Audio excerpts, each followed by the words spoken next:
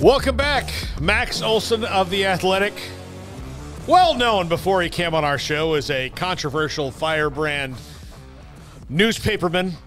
Uh, uh, but he did write a column this week on uh, Deion Sanders and the portal and all of that and talk to the players. Max, uh, I told you in text yesterday, I read the thing three times. It was so good and so in depth and like must have taken you a very long time to do and, and work through quotes and all of that. Are you surprised at the backlash that it got from Boulder, Colorado?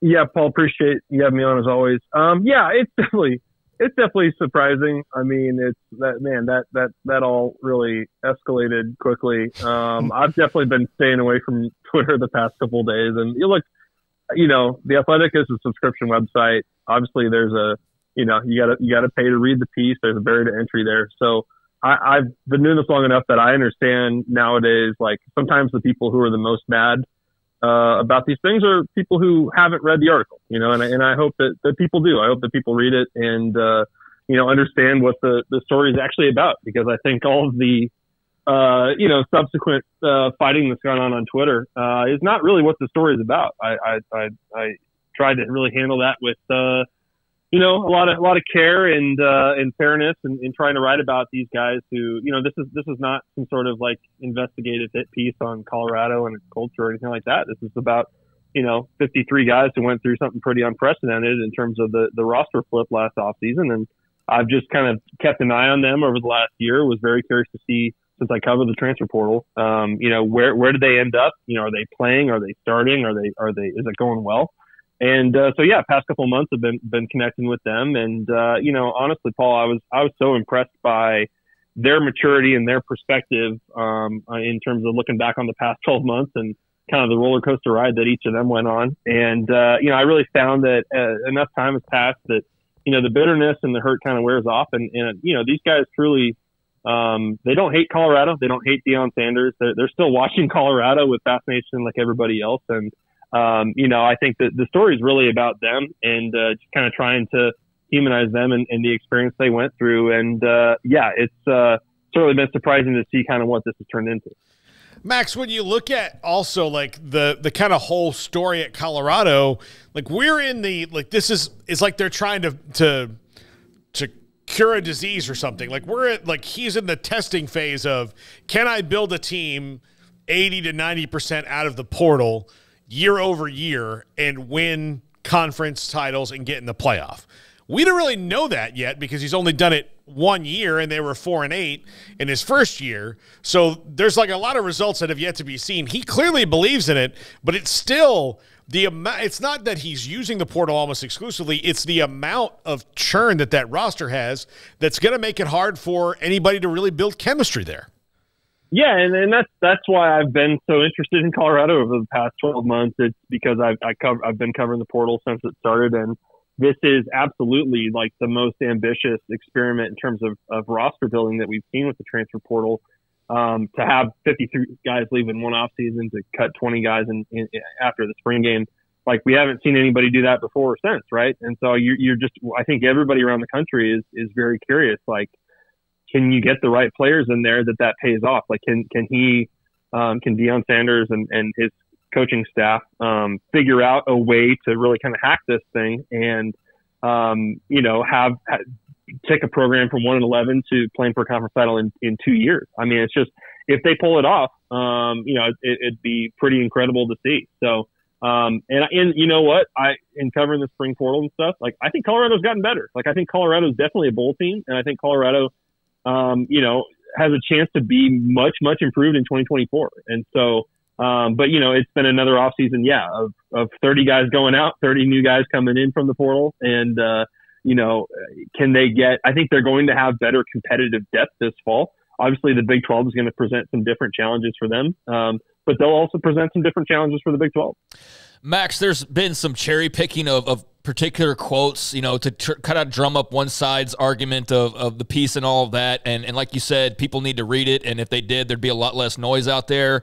Um, but I know that's that's asking a lot in some cases. So when you talk to uh, these guys. I mean, there's obviously uh, some that felt like it could have been handled a bit better and that they felt kind of just tossed to the side or, or, not very respected in some cases. But um, from just kind of gathering all the information together, I mean, is this just kind of business in college football these days, transaction wise, or should we expect there to be more of a of a you know uh, I, I, guess on the part of, of Deion or his coaching staff, some emotional uh, support for, for guys. I mean, this is a business after all. So, what could kind of be expected when you're undergoing roster transition like this? I guess is what I'm asking. Yeah, yeah. I mean, I think you know Deion Sanders was was uh, to his credit, he he was very clear with his message from day one, and I think that's why all of them like have very strong memories of that first team meeting because he did um, make it very clear what he was coming in and, and planning to do. And, uh, you know, as Chase Sowell, the, the wide receiver who went to ECU said to me, like, he didn't think Deion was being a dick. He just thought that he was saying, you know, prove to me that you can play. And so, um, I think for those guys that went through that spring experience, obviously they figured out pretty quickly, like, okay, you know, the, the, the Shedeur and Travis Hunter and these guys from the portal are kind of the stars of the show here. And, um, it's, it's an uphill thing to prove that we deserve to be here. Um, and, and look, I think that, um, it's, it's clear and this was what Deion Sanders told them um, when it was time to, to cut some of these guys loose. Is you know I think he wanted to move on from guys he felt like could not help them in 2023, and he felt that he could get more you know better, more experienced players uh, out of the transfer portal to, to fill out that roster and, and really uh, try to kind of remove a lot of the guys that um, you know he felt like were responsible for a one and eleven season. So um, you know talking to those those players, um, some of them were not surprised that they ended up getting cut. They could kind of tell as they were going through spring ball, you know, they weren't getting a lot of first team reps or anything like that. Um, and I think that they understand, you know, these are, you got to remember, um, these are, these are kids that are, you know, 18 to, to 22, 23 years old. A couple of them I talked to were, were, you know, coming out of their freshman year and had only been at Colorado for a season at that point in time. And I think they certainly understand like this is a business and, and it's a lot more transactional now. And, um, you know, you got to prove that, that, uh, you deserve to be there because, uh, there there are a lot of replacements out there in the portal who can uh, uh, come in and contribute.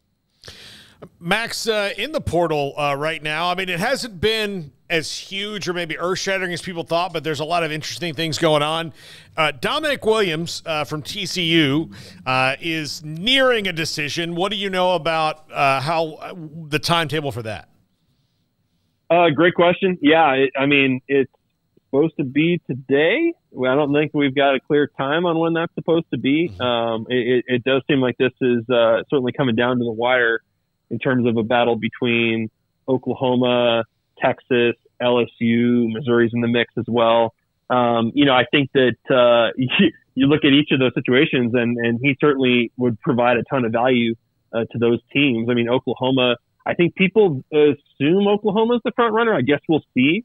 Um, and Oklahoma, you know, Brent Venables came out and said after the spring game they've got a big need at defensive tackle because um, they they don't they only have one one player on their team that has any starting experience at that position after uh, Jacob Lacey had to medically retire. So um, I think that would be a really impactful piece for Oklahoma uh, to pair him with Ethan Downs and who they have coming in and coming back on the defensive line. Certainly Texas is trying to replace Byron Murphy and, and T'Vondre Sweat, and LSU's trying to replace the three NFL draft picks at defensive tackle as well. So um, yeah, it's a it's a tough decision for I think for Damonic in terms of uh, what's the place that where you're going to shine the most.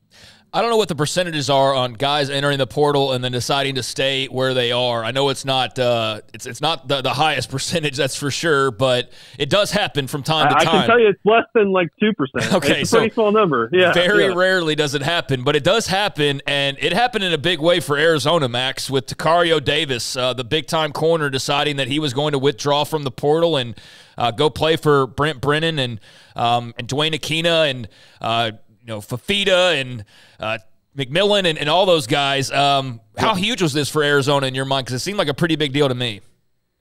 Yeah, you know, certainly after Damien Martinez, uh, the Oregon State uh, All Pac-12 running back, after he committed to Miami, then then I bumped Tacario Davis up to number one in terms of our best available rankings. Um, and I, I think that a lot of uh, it, just a really interesting situation of, of a player who went in the portal after their coaching change, but never moved, never never left the program, and uh, stayed. Wanted to give Brent Brennan and his and Duane Akina and his coaching staff a, a chance. And, uh, you know, clearly they made a good enough impression on him that uh, he officially took his name out.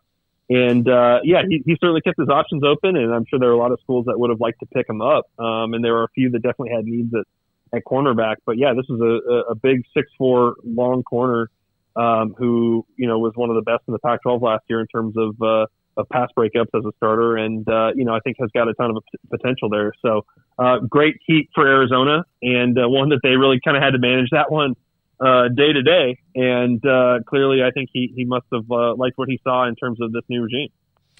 Max. Um, Peny Boone committed to UCF, ending a, a, long journey through the transfer portal this offseason.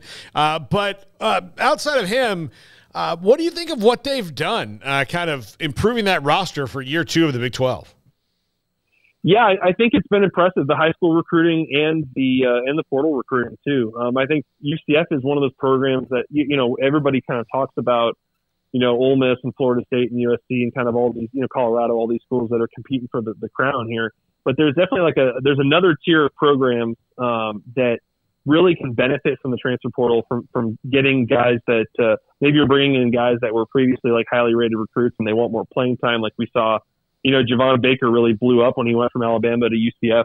Um, you know, I, I think that that's one of those programs that, um, because it's a desirable destination to live, um, and it's a good coaching staff and it's a Power Five program now, and you got some stability with Gus Malzahn. Like, you can definitely see why it's an attractive spot uh, for for guys who are in the portal. And uh, you know, I, I think that the investment they've made in, in transition into the Big 12, uh, I, I think is going to pay off for them. I, you know, there's so man, there's so many programs that you know you, think are going to be better this season. So um, you know, we'll see how it goes. But like, I, I think KJ Jefferson was a pretty good pickup in terms of a veteran out of the portal, and uh, you know, UCF is uh, is going to have some playmakers. We saw it when they upset Oklahoma State last year. Like, um, they can, they're going to over time here, they are going to be more and more ready to kind of play with the big boys in this conference.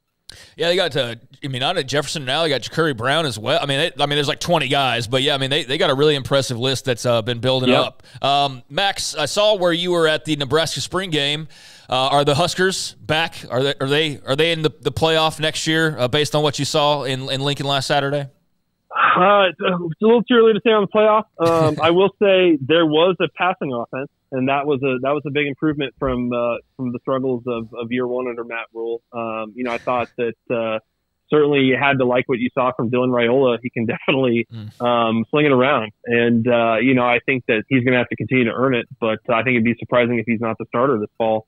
And uh, you know, there'll be some growing pains with that, but you know, certainly they have uh, they've improved their team as well. I think Isaiah Neyor coming over from Texas was a really nice addition. If he love can stay healthy, yeah, love that. yeah, I, I, think that's a great move for him uh, as a guy that just you know got behind a bunch of studs at Texas. Um, if he can stay healthy, I think that he's got a chance to to really flash. They've had they've had good pickups and they've had good retention there too. They just have not had a lot of guys leave that program for the portal. So um, you know, I think people are definitely expecting, uh, you know, significant improvement, especially offensively. All right, Max. Last thing before we let you go, Zakhari Franklin uh, transferring from Ole Miss last year. Everybody wanted him. Uh, yep. You know, after UTSA, it did not work out. Injuries and whatnot at uh, at Ole Miss. What do you know about the buzz around him? Yeah, I think at this time last year, I think I had him ranked right there with Keon Coleman in terms of like the the top guys in the in the spring portal. And uh, you know, there was definitely a lot of schools fighting over Zakhari Franklin, and um, you know, got got banged up there. And and that's the thing that's tough. Um, sometimes when these guys transfer, it doesn't necessarily mean that they picked the bad school for them or something like that. It's it's you know, if you have a little setback in fall camp or something like that, and you're playing with talented guys, um, you know, they're going to surpass you, and it's going to be tough to get back out there. We saw that with. Uh, you know, Jalen Robinson going to Ole Miss as well. So, um, yeah, I, I think Zakhari Franklin, uh, you know, I was a little surprised because sometimes with those guys, you're like, I just assumed that they went through pro day and they, you know, didn't get drafted or whatever. So, um, a little surprised to see his name in the portal. And, uh, I, I don't know if UTSA is, is looking to bring him back. I, I don't know the status on that. Based but, on what we um, know, that's a no. So I think it's, I, but I think he'll still have options. I mean, he, he, you know, he was, he broke all the school records in terms of receiving. Like he's a very productive uh, player who, um, I, I'm sure, you know, feels like he's got a lot to prove right now. Max Olson of the Athletic. Max, I cannot wait for your next controversial article. Hey, no, in all seriousness, that was, was, a great so piece, man. And uh, don't let the cult yeah, of personality thanks, bother you at all. I thought it was really well done and very fair as well. And so, uh, yeah, man, keep up the good work. You, you guys were not going to get me to say any viral bullshit today. I promise.